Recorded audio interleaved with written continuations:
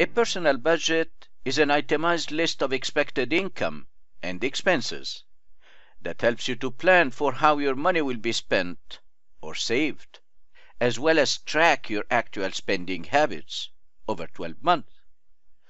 I'm Nabil Mourad. In this tutorial, I show you amazing tricks and shortcuts on how to quickly create a customized budget for each month. So let's dive in. Here is my exercise file. I just added some labels. I have the income label in cell B2, and then I have two sources of income, employment and interest, and then below it I have the monthly expenses, and I have different categories of expenses, and then I have two columns, the planned expenses and the actual expenses. In this project, I would like to create a model for one single month for my personal budget, because what changes from one month to the other is not the income, not the planned, but what changes are the actual expenses, and these should be entered for each month. Other than that, all my calculations will be exactly the same. And at the same time, my project should include 12 sheets here below, one sheet for each month, and I have to name them according to each month, January, February, and so on. I also want to extract the name of the month here at the top by using a special formula. So let's start by creating the 12 sheets and I'll be using a pivot table to do this. First of all, I have number one and I have January. So I select these two values, hover over the lower right corner of my selection, the autofill handle, and drag it down up to December. When I release, I would have created an incremental list of months. Later on, I'll need this list in order to extract the month name. So I want to name this list right now. So I click in the name box and I type, let's say, my list. And then I hit enter. Now this range is named my list. I'm going to select a single cell and I want to create a pivot table. What's the reason for which I'm creating a pivot table? Because I don't want to insert the sheets one by one and double click and name each sheet. I'm going to do all that in one single step by going to the insert tab of the ribbon. I click to the left side of the insert tab on pivot table. Alternatively, I can use the shortcut Alt and V and then the create pivot table dialog box opens. I want to create my pivot table in the existing worksheet. I select the destination and then hit OK. When I do that, the pivot table placeholder appears, the pivot table field list appears on the right side, and two contextual tabs are added to the ribbon, the Analyze and the Design tab. I want to start building my pivot table by dragging the month to the filter, and this is all what I need to do. To the left side of the Analyze tab, I click on the down arrow for options and from here I'll be selecting show report filter pages. When I hit OK in this dialog box, keep an eye here on the sheet tabs, all the magic will happen. So let's hit OK and 12 sheets have been created and named one for each month. I don't need the pivot table field list anymore and I don't need this filter that was added to each one of the new sheets. So I want to get rid of all the 12 filters. So I click on January and then press the shift key and click on the rightmost which is December. All the sheets are now selected altogether. and then I select these two cells and to get rid of the filter on the right side of the home tab I click on the down arrow of the clear command and select clear all. Alternatively I can use the shortcut Alt EAA. Then I deselect and then ungroup the sheets by clicking on my original sheet, sheet 1, and I finish creating the 12 sheets. Now let's move to the second part of this project, creating a model for my personal budget. I would like to insert some figures for my income. So let's say for the employment income, I type this number and for the interest, I'm getting that much interest. And then here in cell B5, I would like to create a total income. I could use the auto sum command. I could use any one of the techniques for summing. I'm going to use the shortcut alt equal equal. My next step will be adding some values for the planned expenses. And I can do that by typing for the mortgage, insurance, utilities, gas, food, car expenses, entertainment. I would like to add some values in this column. So I start by adding for the mortgage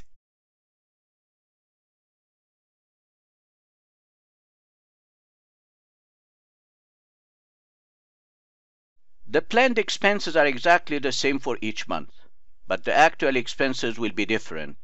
for the mortgage and the insurance, these two numbers do not change. I want to copy them to the right. Right starts with letter R, so I hit Control R to copy to the right. And then I would like to calculate a subtotal for my expenses, so I select these two cells and click on the auto sum on the Home tab or on the Formulas tab. My final step is to calculate my savings. My savings are simply the difference between the total income and the subtotal for the expenses. So let me create in cell B17, I type an equal sign and I select the income. And because I'm copying to the right, so I need to lock this cell, type a minus sign and click on the cell above. I'm subtracting B16 from B5 and then I populate my function by hitting Control Enter.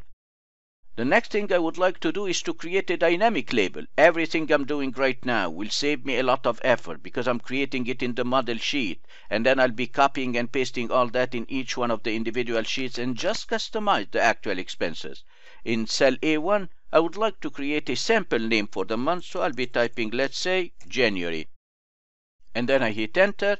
The next thing I would like to do is to create a dynamic label for the expenses instead of monthly expenses. I wanted to look at cell A1 and create a dynamic label. So I select cell B7, I type an equal sign, click on cell A1, and then type Shift 7, the and symbol on my keyboard, and then in double quotation, I'll be typing a space, and then I type expenses. When I hit enter, I would have created a dynamic label. One final thing I would like to do is to create a conditional formatting rule for the actual expenses. So whenever my expenses go above the planned expenses, I want the cell to be highlighted. So I select the entire range, although I didn't enter any value yet, but that's not a problem at all. And then I go up at the top in the styles group on the home tab, click on the down arrow for conditional formatting, highlight cell rule, and select greater than. And because the first cell is the active cell, then I'm creating my conditional formatting rule from the perspective of the active cell.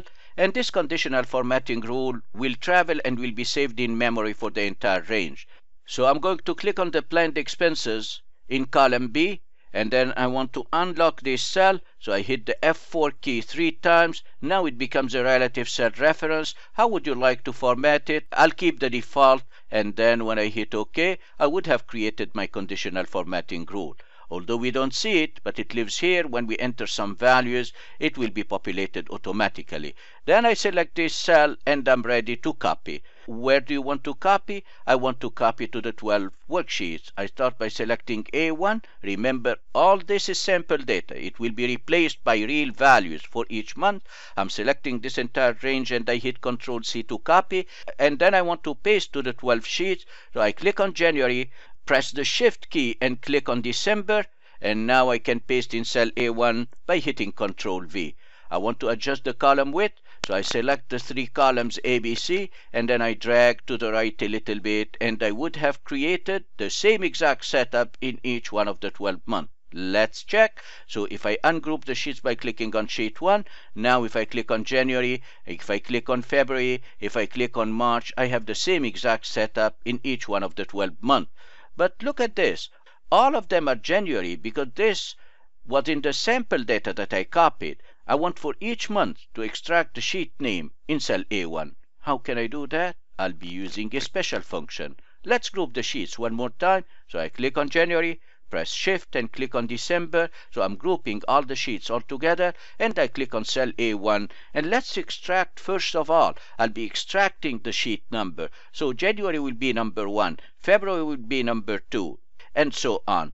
How to extract the sheet number? By typing a sheet function equal sheet and then I hit the tab key. Sheet, you can refer to any cell. So I'll be typing A1. And then when I close the bracket and hit enter, look at that. It's extracting the sheet number. Because I'm January right now, I see one. But in each one of these months, I see the corresponding number.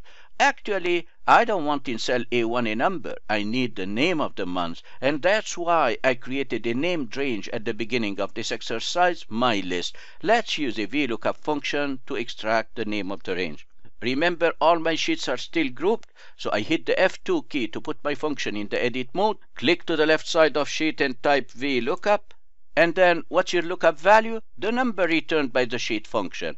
and then I hit comma. Where do you look for it? Where is your table array? So I type the named range, my list, and then I hit tab, and then I hit comma. From which column you would like to extract a return value? What's your column index number? It's always the second column, and then I hit comma. Are you looking at an exact match or an approximate match? Well, I'm looking at an exact match, which means false, which means zero. I type zero, close the bracket, and then hit enter. Look at that, I was able to extract the month. Before ungrouping all the sheets, I don't want to keep the function. I need the result of this function. So what do I do then? I'm going to copy control C and then I want to paste but I'll be pasting values. I'll be pasting special. So I use the shortcut control alt V and then I hit V one more time to select values and then I hit enter. Now I would have replaced the function. As you can see no more function here and I can stop the dancing ants by hitting the escape key now it's the moment of truth. I'm going to ungroup all the sheets. So when I right click on the sheet tab and say ungroup, now if I go to February, I have the month of February, March, I have the month of March, and so on and so on. Let's continue building our budget by entering the actual value and I'm starting with January. Well, in the month of January, for the utilities, I paid a little bit above the plant, so I type 320. Look at that, the conditional formatting pops up automatically. For the gas, I paid a little bit below. Mm, then for the food, we didn't eat much in that month, so I typed 650. For the car expenses, I had to change the brake pads for my car, so I paid a little bit more. So I type 430, and look at that, the conditional formatting is stored in memory. For the entertainment, there is no much entertainment in winter, so I type 200, and that's it. And I was able to create the actual expenses, and now I can automatically see that my savings are pretty close to the plan.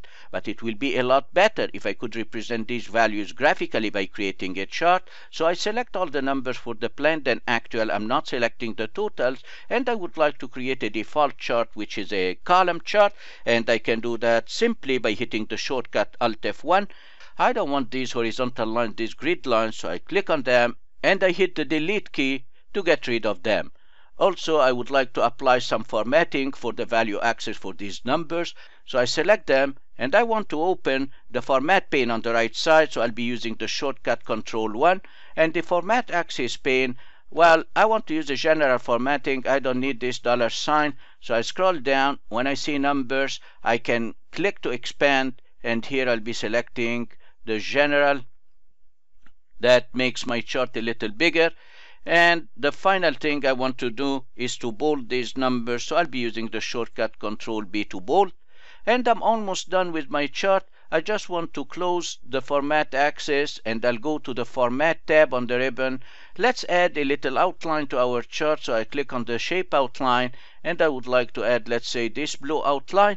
One final thing, this title is not dynamic. So I select the chart title, hit the F2 key on my keyboard type an equal sign, keep an eye on the formula bar, and when I click on cell B7, when I hit enter, I would have created a dynamic title. I can bold it by hitting the shortcut Control B, and now I finished creating my chart well, should you wish to copy this chart to another worksheet, let's say I'm going to do it, let's say for February. So I go to February and add some values first. Let's say for the utilities, this month I paid, let's say 270. And then for the gas, I paid a little bit up. And then for the food, we ate a lot in this month. So I type, let's say 850 for the car expenses. And then finally, for the entertainment, I was below my budget. I would like to represent the numbers for February as well in a column chart. So instead of recreating my chart, I can simply select the January chart. I'm selecting it and copy Control C. And then I go to the destination February and I'll be pasting my chart. Of course, this chart does not represent the values for the month of February. I need to customize it for February. I'm just saving some steps. So to customize it for February, I'm going to right click on this chart and select Data, And here, all what you need to do to change January to February is to click on the Sheet tab for February and everything will update automatically. Then hit OK. And here is my chart. It represents the values for February with the exception of the chart title. I want to get rid of it. So I click on the little plus sign in the upper right corner of the chart area and then deselect the chart title and then bring it back. Now I'll be repeating the same process with the chart title selected. I hit the F2 key type an equal sign, and then click on cell B7 and then hit enter. What I did for January and February, you will be doing it for the remaining month of the year, customizing each month and customizing the chart, and you would have created a simple personal budget. In this tutorial, we used lots of nice tricks. We learned how to create sheet tabs and name them by using a simple trick in pivot tables, and then we learned how to group the sheets. We learned how to extract the sheet name by using the sheet function combined with the VLOOKUP function and the named range. We created some conditional formatting. The final thing I would like to do, I don't need this sheet one anymore. That was just a preparation sheet. So if I right click and say delete, nothing will be affected in my calculation because I copied my nested functions and then I pasted values. If you enjoyed this training video, give it a thumb up and don't forget to hit the big subscribe button to be notified when new tutorials are released. The best is yet to come. Thank you for watching and see you next time.